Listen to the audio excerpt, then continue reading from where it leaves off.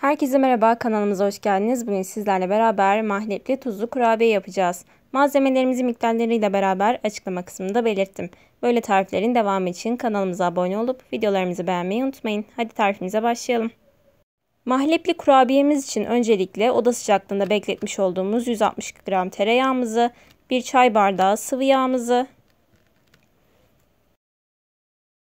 1 yumurta akımızı, bir yemek kaşığı sirkemizi mutfak şefimize alıyoruz. Yoğurma işlemimize başlıyoruz.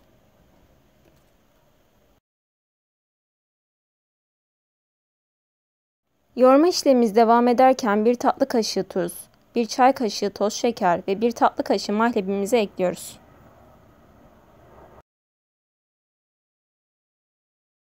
Daha sonra 3 su bardağı unu ve 1 paket kabartma tozumuzu ilave ediyoruz.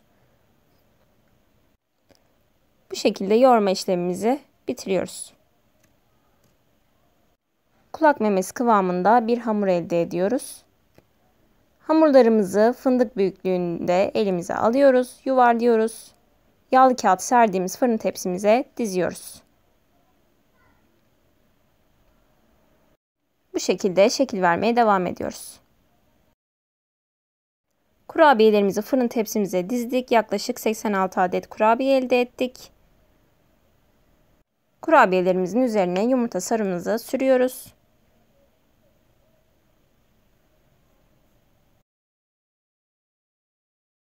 Her bir kurabiyemizin üzerine çörek otunu serpiyoruz ve her birinin üzerine hafif bastırıyoruz.